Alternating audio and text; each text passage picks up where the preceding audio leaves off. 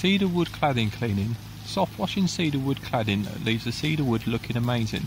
Soft washing cedar wood using wood wash followed by wood restore will make the wooden cladding look like new. Soft washing prevents damage occurring to cedar wood cladding.